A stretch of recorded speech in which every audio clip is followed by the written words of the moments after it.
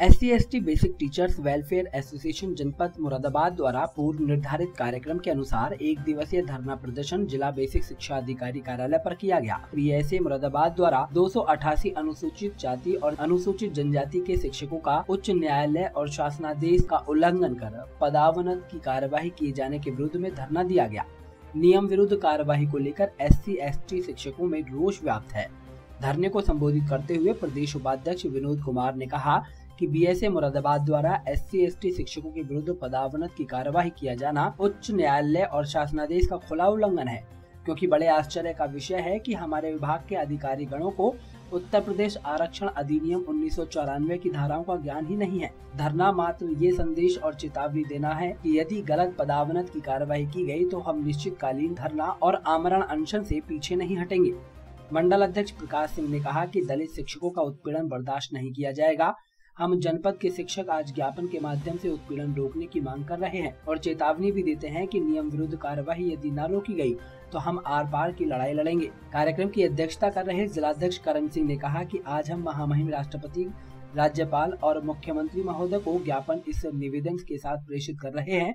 कि जिला बेसिक शिक्षा अधिकारी द्वारा हमारे पूर्व ज्ञापनों पर संज्ञान नहीं लिया गया और वो जातिगत मानसिकता से ग्रसित हैं। इस कारण ही हम धरना देने को विवश हुए हैं, लेकिन ये एक दिवसीय धरना मात्र चेतावनी है। इस दौरान शिक्षकों का ज्ञापन बेसिक शिक्षा अधिकारी के द्वारा नहीं लिया गया तो सभी शिक्षक उग्र हो गए और अपना रोष प्रकट करते हुए जिलाधिकारी कार्यालय पर प्रदर्शन किया। इस दौरान जिलाधिकारी कार्यालय में सभी शिक्षकों ने अपना ज्ञापन हस्तगत कराया।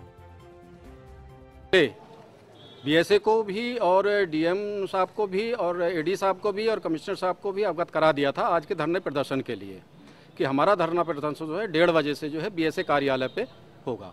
हमारे जो मुख्य जो समस्याएँ थी, वो एक तो ये थी कि अभी इन्होंने एक डिमोशन की प्रक्रिया चालू की है, जो गलत है।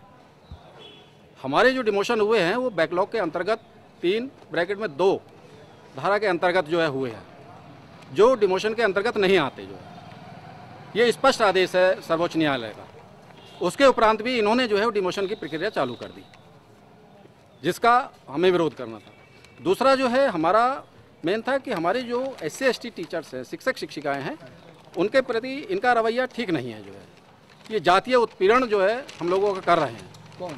बी एस महोदय और इनके अधीनस्थ जो खंड शिक्षा अधिकारी हैं ये लोग जो है या ऑफ़िस के बाबू हैं। हमारी समस्याएँ कोई होती हैं महिलाओं से संबंधित महिला शिक्षिका से संबंधित हो या पुरुष शिक्षक से संबंधित हो। बी एस साहब हमसे कहते हैं कि नहीं शिक्षक को भेजिए।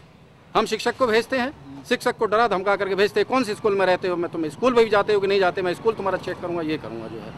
कारण सिर्फ़ यही है कि या तो पैसा दीजिए वरना जो है आप ऐसे नहीं आपका काम होगा जो वो शिकायत हमसे करते हैं।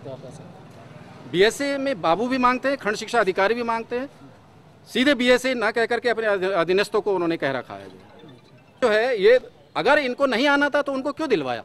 उसके जो है, दो मिनट बाद ही ये ऑफ़िस में आ गए। हमने इनसे निवेदन किया कि आप जो है, यहाँ आकर के हमारे अध्यापकों को संतुष्ट कर दीजिए। इन्होंने जो है, क्योंकि हम एस के हैं, हम दलित हैं, हम शोषित समाज के हैं, इन्होंने जो है, वहाँ हमारे पास आना उचित नहीं समझा। और ये अपना वहाँ से जो है, निकल आए ऑफ़िस से जो है। तो ये हमारे समस्त अध्यापकों के लिए बहुत ही बुरा लगा जो हमारा मतलब स्वाभिमान के लिए ठेस पहुँची है। हमारे एक जो है अधिकारी हैं। हमारी बात की हमारी समस्याओं को हमारे बीच में आकर के सुनना चाहिए था इन्हें। अच्छा, उनको इन्होंने नहीं सुना। अब कहाँ समापन करा अब उसके बाद में हम लोग जो है वहाँ बीएसए ऑफ़िस में जब इन्होंने हमारा ज्ञापन नहीं लिया तो हम डीएम महोदय को जो है राज्यपाल माननीय राज्यपाल जी के लिए महामहिम राष्ट्रपति जी के लिए और माननीय मुख्यमंत्री महोदय के लिए ज्ञापन और जिला जिला अधिकारी महोदय के लिए ज्ञापन आकर के हमने जिला अधिकारी कार्यालय पे दिया जो है। और उस ज्ञापन देने के उपरांत जो है, हम सभी लोगों ने जो है राष्ट्रीय गान करके अपनी धरना प्रदर्शन का समापन किया।